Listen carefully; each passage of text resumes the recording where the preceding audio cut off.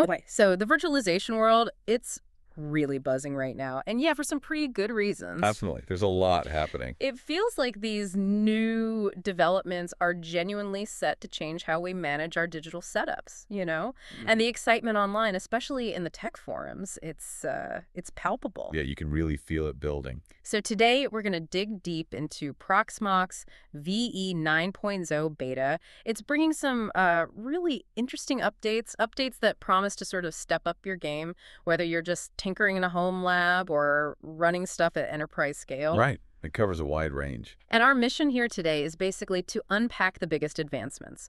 We're going to focus specifically on the improvements for a Linux containers LXC and, you know, what these changes really mean for you out there. Uh, Because let's face it, for anyone who loves optimizing servers, squeezing every last drop of performance out of hardware, this release, it could feel like hitting the jackpot. Well, it's definitely a significant release. And that jackpot feeling, it's built on a really solid foundation. We're talking Debian 13 Trixie underneath. Okay, the latest Debian. Exactly. And it's packed with the latest bits. You've got the 6.14 kernel, QEMU 10.0.2, LXC 6.80.4, OpenZFS 2.3.3, Ceph Squid 19.2.2. Wow, that's a lot of updates. It is. It really sets the stage. This isn't just about being powerful now. It's um, it's genuinely setting things up for the future. It feels very forward-looking. Right. So before we jump into the specific LXC goodies, maybe just give us a quick refresher. What exactly is LXC? Why are Linux containers such a big deal for so many Proxmox users? Yeah, good idea. So LXC Linux containers, people often call it the uh, the unsung hero of virtualization, I've heard that. and for good reason. Right. See, unlike a full VM, which runs its own separate operating system kernel, right. LXC containers actually share the host's kernel, Ah, okay. which makes them incredibly lightweight, Hmm. fast, really efficient with resources. Think of them like isolated little Linux environments, perfect for running just one app or service, a web server, a database, you know, microservices. gotcha. Lean and mean. Exactly. And Proxmox has supported LXC for ages, actually since version 4.0, when it swapped out OpenVZ. It's been a cornerstone for people wanting efficiency without giving up that necessary isolation. Makes sense. But what's really exciting about this 9.0 beta is that it brings a major upgrade to LXC. It tackles some uh, long-standing pain points and really unlocks new ways to be even more efficient. Okay, tackling pain points. I like the sound of that.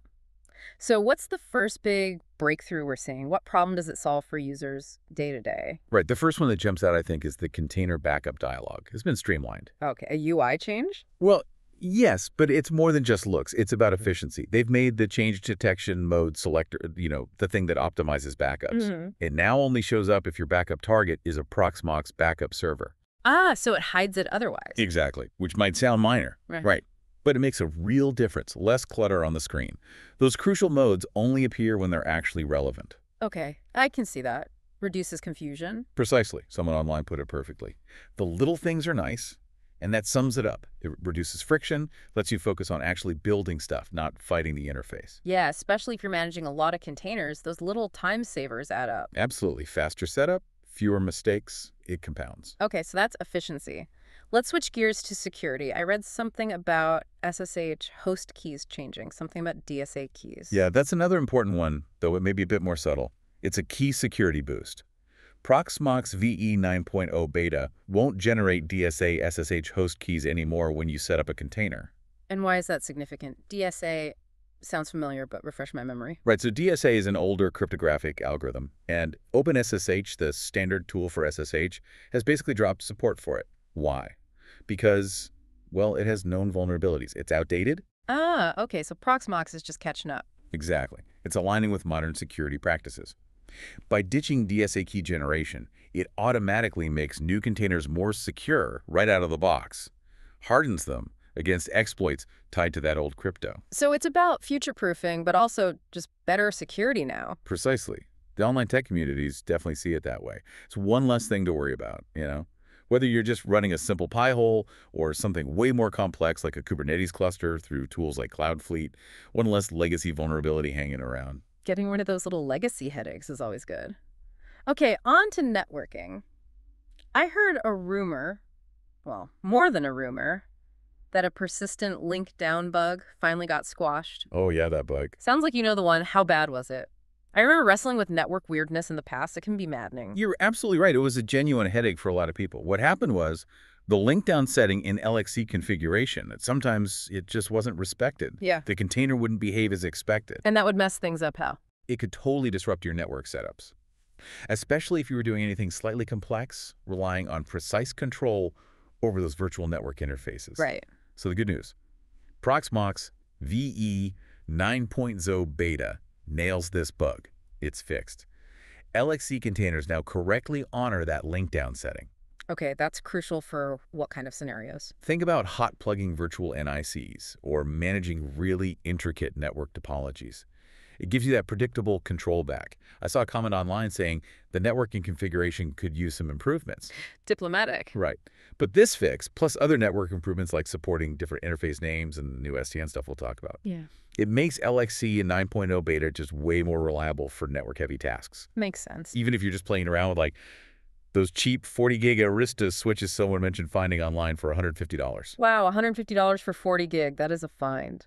Okay, so these LXC updates alone sound pretty great, but how do they fit into the bigger picture of Proxmox 9.0? Are there other general features that sort of boost LXC indirectly? Absolutely. Got to look at the whole package. Take the new SDN Fabrics feature. SDN, software-defined networking. Exactly.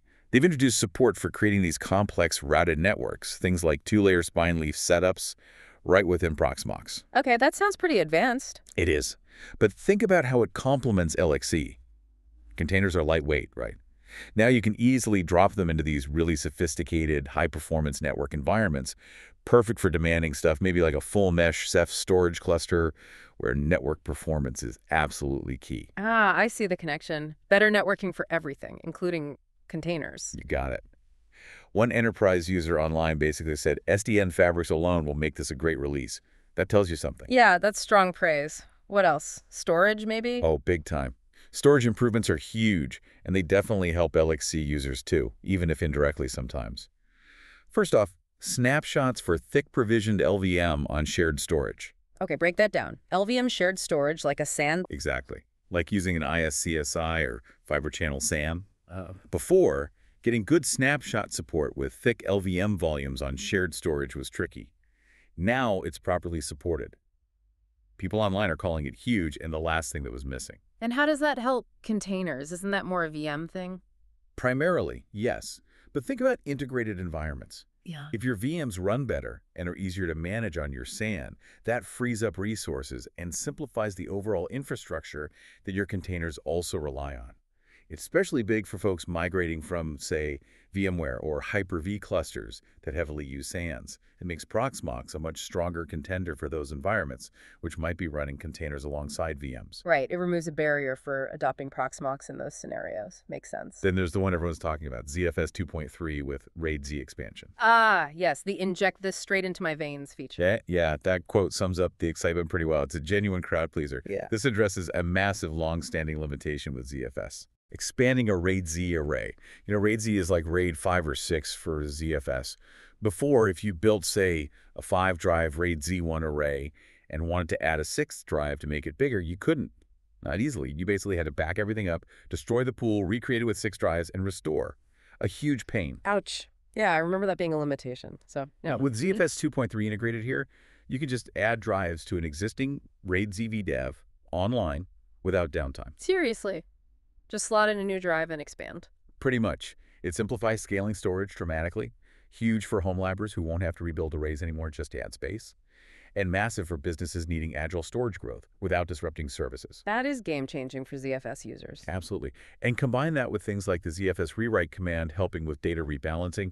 It means your LXC containers running on ZFS get truly flexible, scalable, and optimized storage underneath, something people have wanted since, like, 2012. Wow. Okay, the excitement makes a lot more sense now. And yeah, the online buzz is definitely there. You see people talking about spending weekends tinkering, joking about staying up till 3 a.m. Oh boy, 3 a.m. Yeah, I saw that one. It feels like these LXC improvements specifically really hit a sweet spot for people focused on efficiency.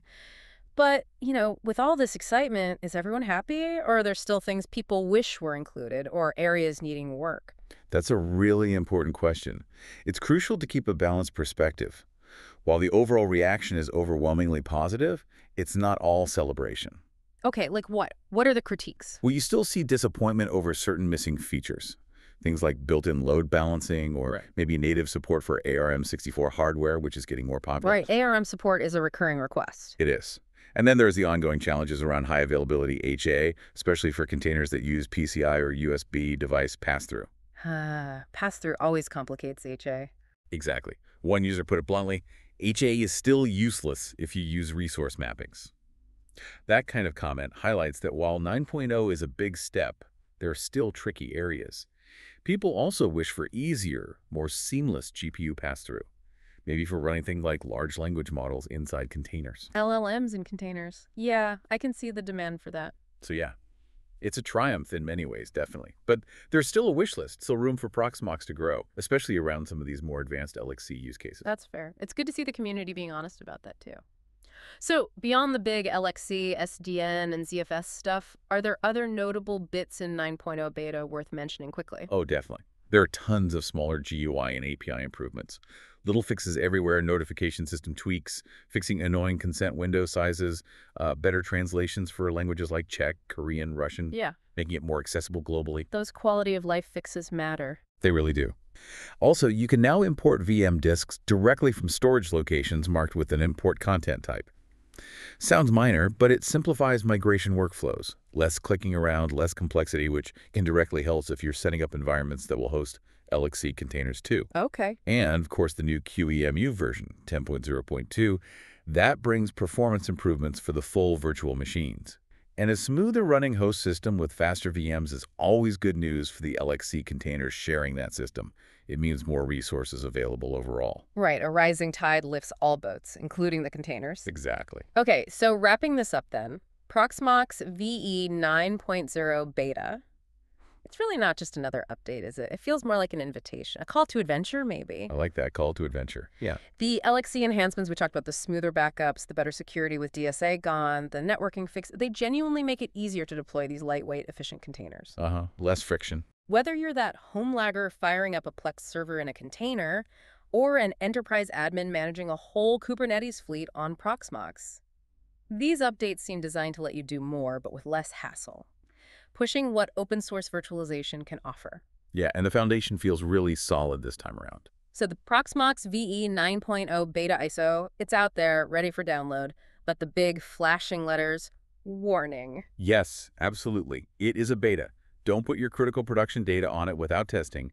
Back up your stuff first. Seriously. Uh-huh. Preferably using Proxmox Backup Server, since it integrates so well. Good advice. Backups first, adventure second. Always. And remember, because Proxmox is open source, this beta is just the start. There's a whole global community banging on it, reporting bugs, suggesting improvements. The final release of 9.0 will likely be even more polished. Maybe they'll even address some of those wish list items like better HA for pass-through or, you know, a slicker mobile UI people keep asking for. We can hope. So, for you listening right now, whether you're chasing that thrill of a new home lab project or you're aiming for serious enterprise efficiency, these LXC breakthroughs really do open up new possibilities. It's kind of a ticket to that virtualization jackpot we mentioned. Mm. So, here's a final thought to chew on. With these new LXC capabilities, with backups being smoother, networking more solid, what's that unexpected, maybe resource light project you could finally spin up, something you maybe held back on before? The adventure awaits.